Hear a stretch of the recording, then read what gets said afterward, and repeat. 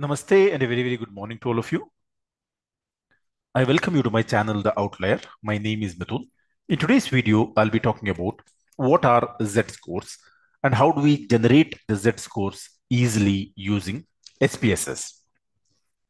Even before I proceed to demonstrate what do we mean by Z-scores and how we can obtain the Z-scores using SPSS, may I request you to subscribe to my channel, also like and share my videos. Let me begin by giving you a simple analogy. Imagine you are at a concert and your height is 5 feet 9 inches. That is, you're 5 feet 9 inches tall. You want to know how do you compare to the average height of the crowd. Let us suppose that the average height of the crowd is 5 feet 7 inches with a standard deviation of 2 inches. Your Z score is like a special number that shows how many steps away from the average height you are. There are three scenarios here. The first is if you're exactly 5 feet 7 inches, your Z score is 0. On the other hand, if you're taller than average, your Z score is positive. Example, plus 1. If you are shorter than average, your Z score is negative. Example, minus 1. In your case, with a height of 5 feet 9 inches, your Z score would be around plus 0.5. This means you are half a step taller than the average height. Let's now proceed to look at what all of this means in the context of statistics. A high Z score, example plus 2, means you're significantly taller than average. A low Z score, example minus 2, means you're significantly shorter than average. A Z score close to 0 means you are around average height. Z scores help us understand how individual data points like your height or weight, length, distance, so on and so forth, compared to the average value in a data set. It's a simple way to see how normal or abnormal something is.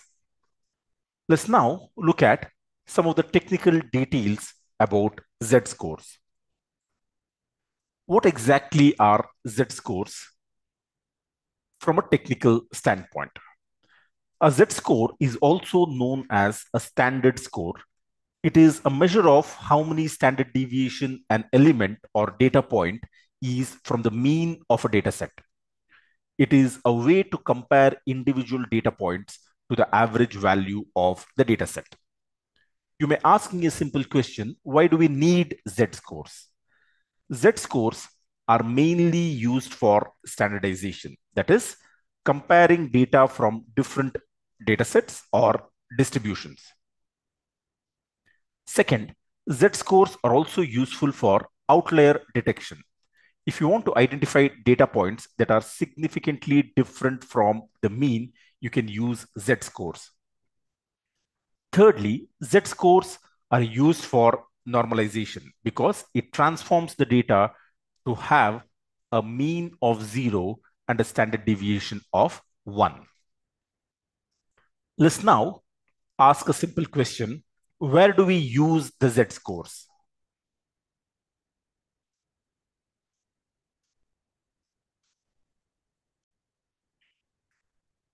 Z-scores are extensively used in the field of statistics for hypothesis testing, confidence intervals, and regression analysis. Z-scores are also used for data analysis. Typically, it is used in data mining, data visualization, and machine learning. If you're in the field of finance, you'd use Z-scores for risk management, portfolio optimization, and credit scoring.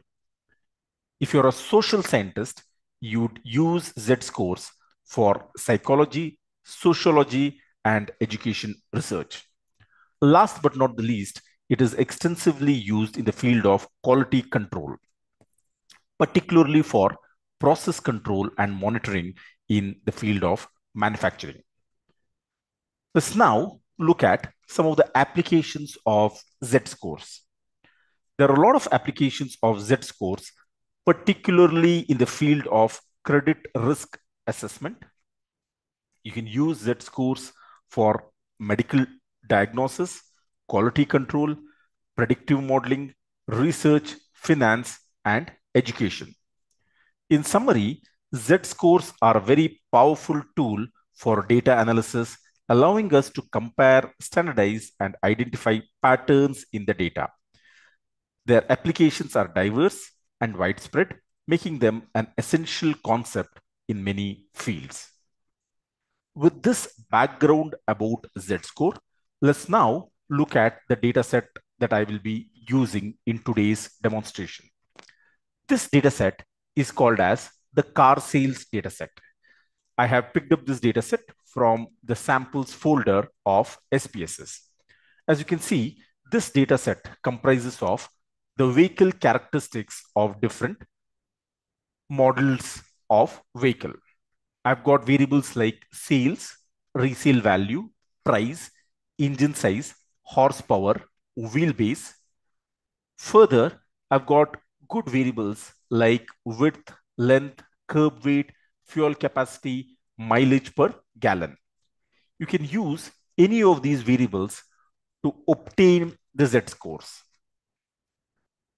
What is the sample size in this dataset?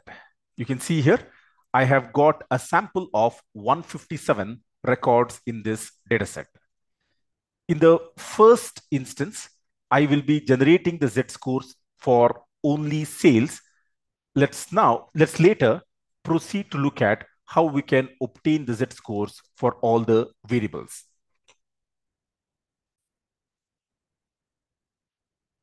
To obtain the Z-scores for the variable sales, what we can do is we can go to the Analyze menu bar. The second option from the top is Descriptive Statistics. Within the Descriptive Statistics, you can choose the option Descriptives, which is second from the list. Let me go ahead and select the Descriptives option. This will open up a dialog box, which is called as the Descriptives dialog box. As you can see, in the canvas to the left-hand side, I've got the variable sales, which I'm going to move to the canvas on the right-hand side. Now, you have an option which is called as the Options tab. Let me go ahead and select this. The default options that SPSS will generate would be mean, standard deviation, minimum, and maximum. Let me hit the continue button. Now to obtain the Z scores for the variable sales, you have to select the option save standardized values as variable. Let me go ahead and check this particular option and hit the OK button.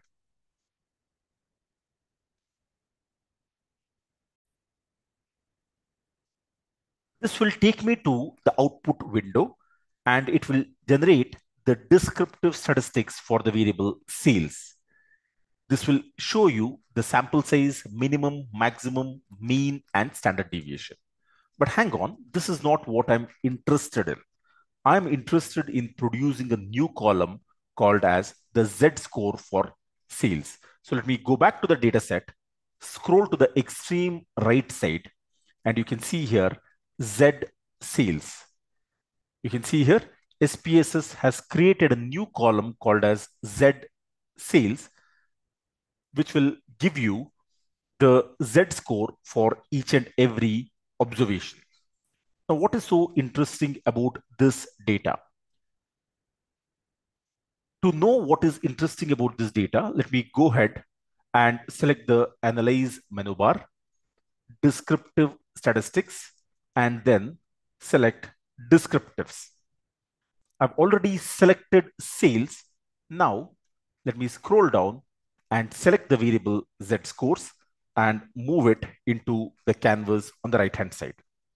Let's now go ahead and click on OK. Now you can see the descriptive statistics for the variable sales, which is the original variable. And below this, you can see the Z scores. The sample size will remain the same. You can have a look at the minimum value, the maximum value for the new variable.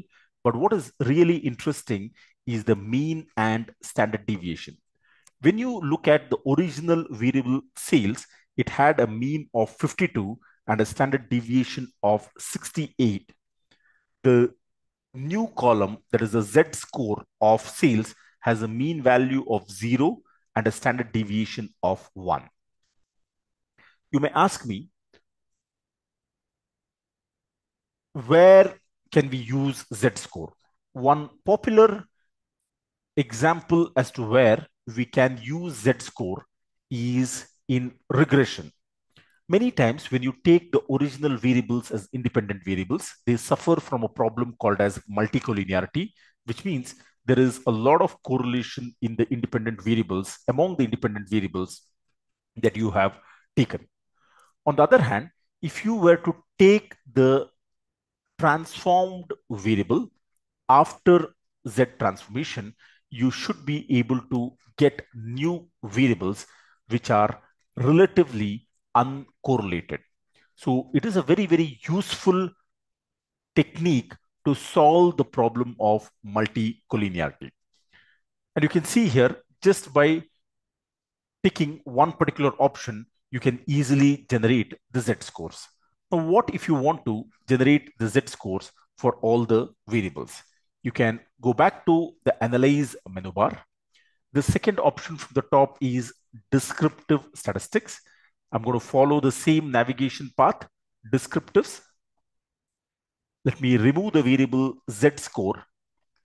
I'm going to choose the rest of the variable like resale, price, engine size, horsepower, wheelbase, width, length, curb weight, fuel capacity, fuel efficiency. All of these variables will be moved into the variables list. Let me now hit the OK button. You can see here, this will give you the descriptive statistics for the old variables. Let me go back to the data set. This is the new data set, which will have the Z transformation for each and every variable that I have taken. You can see here, this is the Z transformation for the variable resale. Then I've got the Z transformation for price, engine size, horsepower, so on and so forth. You can use the transformed variables for any of the advanced analysis rather than the original variables. With this, I have come to the end of today's video.